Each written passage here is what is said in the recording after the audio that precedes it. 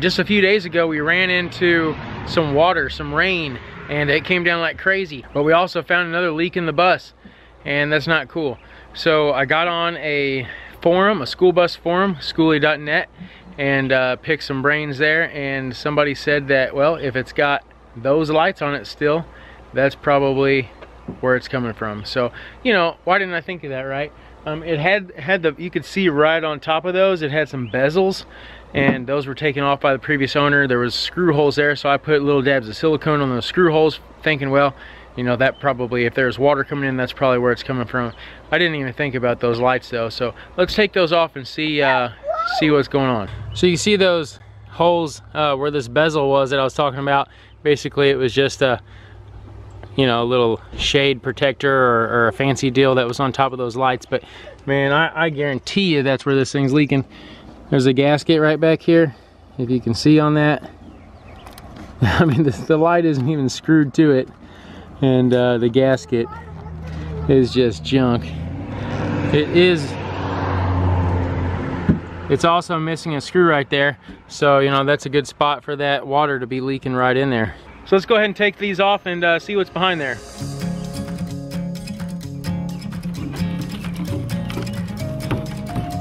Honestly, I was not expecting this big of a hole to be in here. That's exactly where the water is coming from. Right here, you could tell that water's just been leaking in here like crazy. You even look inside and the insulation just looks gross. Tape. Cutters. It's my trusty assistant. Our best option on these is just to eliminate the lights. So I think what I'm gonna do, just cut both wires and uh, tape them up. Although I don't have them hooked up to anything inside because whenever we were building the bus, I did eliminate a lot of those wires and uh, switches. Anything that, you know, was old bus stuff like the stop sign and these lights here, just the, all the emergency flashing system because we weren't using that. Pretty sure in some states you have to eliminate the school bus stuff so people are fully aware that it's not a school bus and that it's definitely a cool bus. A cool bus. All right, Ashley and I got all of these lights pulled out. Next step is we've got a piece of cardboard. We're gonna make a template out of that and that way we can go to town and have uh, our local machine shop buddy shear off a couple pieces of sheet metal for us and uh, we can cap these holes.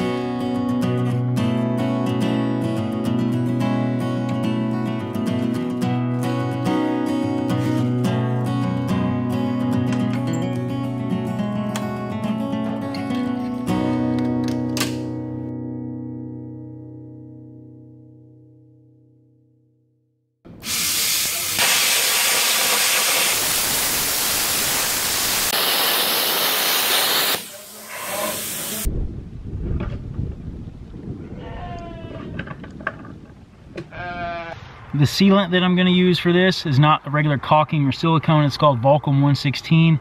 This stuff, it basically lasts forever. It, it never hardens up. It kind of stays, you know, pliable or malleable, um, almost like a rubberized coating, but it seals, it doesn't crack. It's really good stuff.